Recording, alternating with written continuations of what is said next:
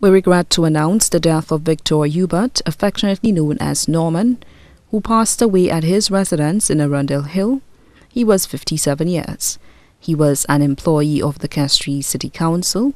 Left to mourn his mother, Teresa Hubert, also known as Farina, residing in Rock Hall.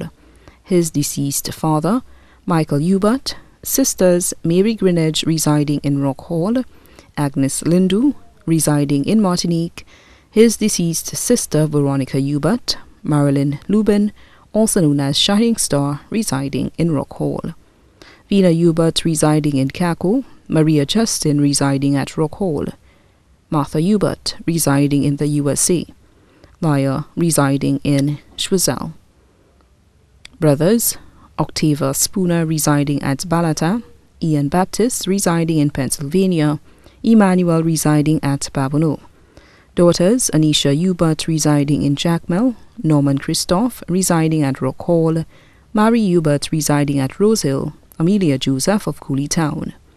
Grandchildren, one grandson, Timothy Christoph of Rock Hall. One granddaughter, Jazan Willie of Cooley Town. Ten nieces, eighteen nephews, six brothers-in-law, one sister-in-law.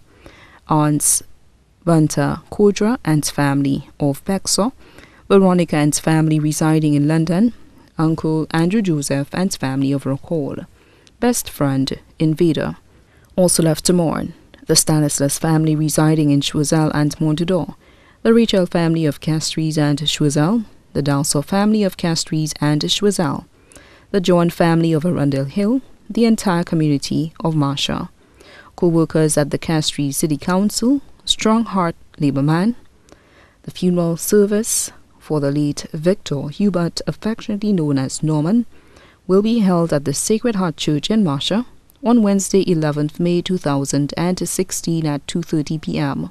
The body will be interred at Choc Cemetery. His body now lies at Crick's Funeral Home Limited in Vide Bouteille. May he rest in peace.